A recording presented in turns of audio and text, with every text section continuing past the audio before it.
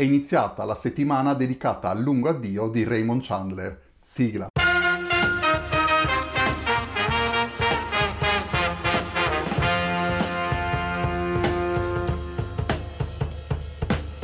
Mi sono reso conto che il video che ho girato quando ero in trasferta sul Il lungo addio di Raymond Chandler nella nuova versione Adelphi tradotta da Gianni Pannofino era veramente un video troppo lungo per essere presentato tutto insieme. Durava circa un'ora e mezzo, siamo, siamo lì insomma. E allora ho pensato di dividerlo, di tagliarlo in diversi blocchi che vi presenterò ogni giorno della settimana fino ad arrivare al sabato dove ovviamente ci sarà il piatto forte che sarà la recensione o l'analisi come volete voi del libro del capolavoro di Chandler. Quindi per ogni giorno della settimana vi presenterò un video che si occupa di un aspetto specifico di questo libro. Un video sarà dedicato a una carrellata di immagini con un testo scritto per farvi sapere un po' di cosa si parla, forse ci aggiungerò un commento vocale, ancora non ho deciso, dove vi presenterò alcuni oggetti, alcune automobili, alcuni cocktail, alcune cose che erano tipiche degli anni 50 che vengono nominate da Chandler nel suo romanzo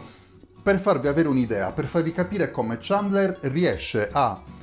dare il senso di quello che lui stava vivendo con gli oggetti che vengono nominati, con alcuni personaggi, con alcuni nomi di persone famose all'epoca o comunque che magari oggi sono dei nomi un po' dimenticati ma che avevano una loro importanza, quindi una curiosità. In un secondo video vi parlerò sicuramente del lungo addio di Robert Altman, un capolavoro della nuova Hollywood del neo-noir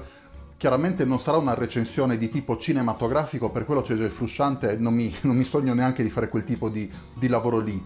Però vi dirò quello che penso io su questo film in rapporto facendo un parallelismo con, col libro e dicendovi quello che penso io di questo film, così come libero pensatore, diciamo, non come esperto di cinema per carità. Un'altra caratteristica dello scrivere di Chandler è quella di avere delle immagini, delle metafore, dei parallelismi molto sagaci, molto efficaci e molto, molto forti, per cui alcune frasi, alcuni stralci presi dai libri di Chandler possono essere a tutti gli effetti considerati come degli aforismi, o meglio, quelle quotes, come si dice in inglese, quelle citazioni che piacciono tanto oggi e che effettivamente anch'io mi rendo conto guardando i vecchi libri che ho letto di Chandler che le sottolineavo perché sono veramente molto belle. Ecco, vi farò una rapida carrellata di alcune citazioni di alcuni aforismi tratti da questo bellissimo romanzo. E ovviamente non può mancare una descrizione di uno dei personaggi più caratteristici, più pittoreschi, eh, più particolari di tutto il romanzo, ovvero quel Earl che è il braccio destro allo scagnozzo del dottor Veringer che è un cowboy. E in questo video vi farò vedere come, Mar- come Chandler descrive questo cowboy in un modo del tutto magistrale e questo video è pensato proprio per voi che scrivete, che magari vi eh, impegnate a cercare un buon modo per descrivere un personaggio. Ecco, c'è una playlist sul canale, cercatela, dove proprio si chiama Descrivere un personaggio, e ci sarà anche questo video sulla descrizione di Earl. Siccome è una cosa a cui tengo molto, questo dello descrivere, del saper scrivere, cerco ogni tanto di darvi dei consigli se siete scrittori o anche se siete dei lettori per farvi apprezzare maggiormente quello che leggete. E un altro passo che ho trovato molto ben fatto è la descrizione che Chandler fa di un silenzio. E infatti a proprio la descrizione del silenzio ho dedicato un altro piccolo, molto breve video. Infine un video sempre nella, nell'ottica dello scrivere o del lettore consapevole L'ultimo video separato, l'ultimo mini video per così dire, sarà dedicato all'aggettivazione, come Chandler usa gli aggettivi. Vi ho già fatto un video su questo, su questo tema dove ho, ho confrontato Stephen King, Joseph Conrad e George Simenon lo trovate in descrizione, magari vi metto anche il link qua sopra, è un video che è abbastanza poco visto, è un video un po' tecnico, però se siete dei lettori penso che vi possa dare uno strumento in più per valutare quello che leggete o come scrittori per decidere qual è la vostra strada eh, appunto del vostro stile. E in questo video vi parlerò di come Chandler utilizza l'aggettivazione.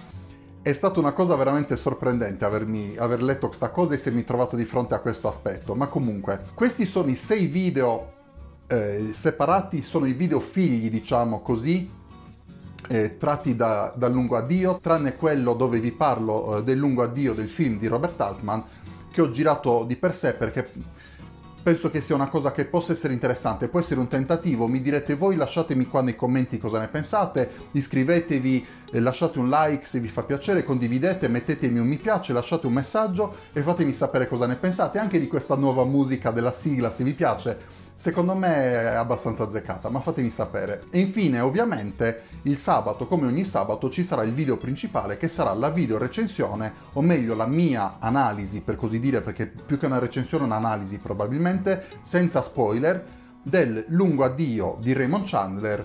pubblicato da Adelphi proprio quest'anno, meglio nel 2022, edito con la traduzione di Gianni Pannofino. Bene, questo era proprio un video rapido, non vi voglio annoiare oltre, ci vediamo già oggi con il primo video.